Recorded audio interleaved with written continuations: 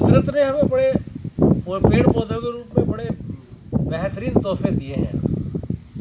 गीता में एक श्लोक आता है पंद्रह अध्याय में, पुष नामी चय औषधि सर्वा, सोमो भूतवा रसात्मका। यानी मैं चंद्रमा के प्रकाश में जड़ी बूटियों को पुष्ट करता हूँ, ये भगवान कहते हैं। पेड़ पौधों के रूप में, जड़ी बूटियों के रूप में भगवान पुष्ट करते हैं जड़ी बूटियों को। और मेरा जो चिंतन है कुछ वर्षों का उसमें एक बहुत अच्छा मैं आपके साथ अनुभव शेयर करना चाहूँगा। वो ये है कि औषधीय जल, उसका सेवन हम करें। औषधीय जल क्या होता है वो मैं आपको बताता हूँ। पानी जो होता है, उसके अंदर एक गुण होता है। वो किसी भी औषधि को उसके अंदर डालते हैं, जड़ी बूटी को, सूखी को भी डालते हैं तो जल उसके गुण को ले लेता है। जल में उसका गुण आ जाता है। और कुछ में नहीं आता तो उसको उबाल के यूज़ करते हैं, उसको काढ़ा बोलते हैं। तो काढ़ा कहें औषधीय जल कहें तो प्रकृति ने हमारे शरीर के रोग के अनुसार, स्थिति के अनुसार, प्रकृति में कोई ना कोई औषधि ऐसी है जो हमारे काम की है। और क्या औषधि हमारे काम की है, ये श्रृंखला के रूप में मैं आपसे निवेदन करूँगा। तो इसको इसको श्रृंखला को नाम दिया औषधीय जल श्रृंखला। तो औषधीय जल से मतलब कि हम किसी जड़ी बूटी के जल को हम कैसे ग्रहण करें और क्या हमें लाभ करेगा वो हम बात करेंगे। सबसे पहले आज जो हम बात लेंगे वो ले, वो लेंगे मेथी के दानों के विषय में। तो मेथी की जो खुशबू है अभी इसका मैंने ढक्कन खोला और खुले में मैं बैठा हूँ मैदान में।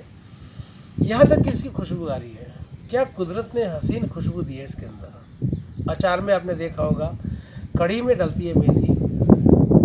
तो लेकिन मैं बात करूँगा आपसे कि इसको औषधीय जल के रूप में कैसे लिया जाए इसको मेथी को रात को भिगो दें एक से दो चम्मच मेथी, रात को पानी में भिगो देंगे, आधा गिलास पानी में, और सुबह सामान्य जो जल आप पीते हैं,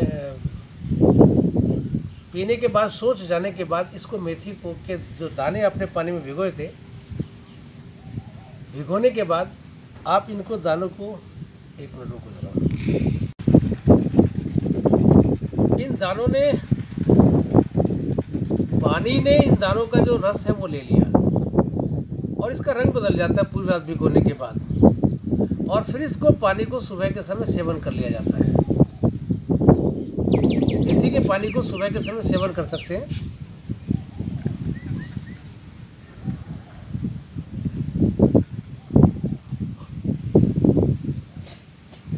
और सेवन करने के बाद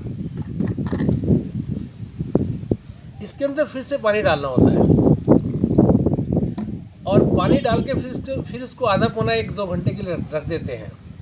क्योंकि एक बार के में इससे पूरा तत्व नहीं निकलते। और फिर इसको पानी को फिर एक दो घंटे बाद पी लेते हैं। फिर एक बार और डालते हैं, तब जाके इसका पानी पूरी तरह से इसका जो मेथी का जो तत्व है, गुण है, पानी में आ पाता है। तो इसको बोलते हैं औषधीय जल, मेथी का औषधीय जल। तो जो मेथी का जो औषधीय जल है, इसका सेवन आप करेंगे, क्या लाभ मिलेगा?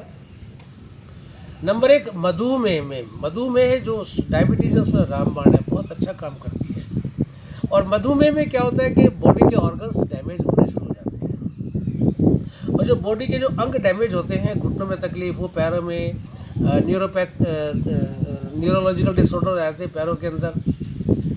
किडनी की ऊपर बैड इफ़ेक्ट आता है डाइजेस्टिव सिस्टम पे बैड इफ़ेक्ट आता है, आँखों पे आ जाता है ग्लूकोमा तो इसके मेथी के लेने से क्या होता है कि जो जो डायबिटीज़ के कारण जो साइड इफ़ेक्ट बॉडी पाते हैं, वो नहीं आते हैं। क्योंकि वायु दोष दूर हो जाते हैं। वात नाशक है, जोड़ों के दर्द में भी मेथी बड़ी उत्तम है। शरीर को पुष्टि प्रदान करती है, पोषक तत्वों की पूर्ति करती है। और जब दो तीन बार इसको पानी को इसके अंदर डालते हो तो लस लसापन इसके अंदर आता है। बहुत फ़ायदेमंद है वो। तो ये जो मेथी का प्रयोग है, मेथी का प्रयोग दैनिक रूप से करने से हमारे वायु के रोग, हमारे जोड़ों के दर्द के रोग, हमारी कमज़ोरी, शरीर की कमज़ोरी और बलवर्धक तो है ही है ये अपने आप में, दूर होती है और हम स्वस्थ होते हैं। तो मेथी का प्रयोग आप करें और स्वस्थ व्यक्ति भी मेथी का प्रयोग कर सकते हैं। लगातार दो तीन महीने कर सकते हैं लगातार प्रयोग। और ये भूल जाइए कि गर्मियाँ तो मेथी का प्रयोग नहीं कर सकते। देखिए, बादाम भी तो खाते हैं ना गर्मियों में। कैसे खाते हैं गर्मियों में बादाम? भिगो के खाते हैं रात को। रात को भिगो देते हैं, बादाम फूल जाते हैं, उसको आप छील कर छील के खा लेते हैं। ऐसी क्योंकि जो जल है ना, उसकी गर्मी को कम कर देता है और उसके गुण को बढ़ा देता है बादाम की। इसी तरह से मेथी का जो पानी है मेथी की गर्मी को जल शांत कर देता है और मेथी के गुण को बढ़ा देता है। जो हम कोई भी जड़ी बूटी खाते हैं, गोली खाते हैं, कैप्सूल खाते हैं, वो पेट में जाके घुलता है ना, घुलने के बाद तब तो वो बॉडी में काम करता है। और आप घुली घुलाई औषधि ले रहे हैं, इसका नाम है औषधीय जल, मेथी का औषधीय जल। और इसको एक श्रृंखला श्रृंखला के रूप में मैं आपको दूँगा। अजवाइन का औषधीय जल क्या काम करता है? दालचीनी का क्या काम करता है? सौंफ का क्या, दाल काम करता है, धनिए का क्या काम करता है, और बहुत सारे औषधीय जल हम तैयार कर सकते हैं। सुबह जिनको हम शोध से निवृत्त होने के बाद आधा कप या एक कप या एक गिलास की मात्रा में आप ले सकते हैं, और वो जो औषधि है जो हमारे लिए भगवान ने बनाई है, पुष्णामी चाहे औषधि सर्वा सोम भूतवा कहा। जो भगवान ने औषधि हमारे लिए बनाई है, उस औषधि से हमें लाभ मिलेगा, आयुर्वेदिक लाभ मिलेगा। आपको अच्छा लगा हो तो प्लीज़ लाइक करें शेयर करें सब्सक्राइब करें। बहुत बहुत धन्यवाद।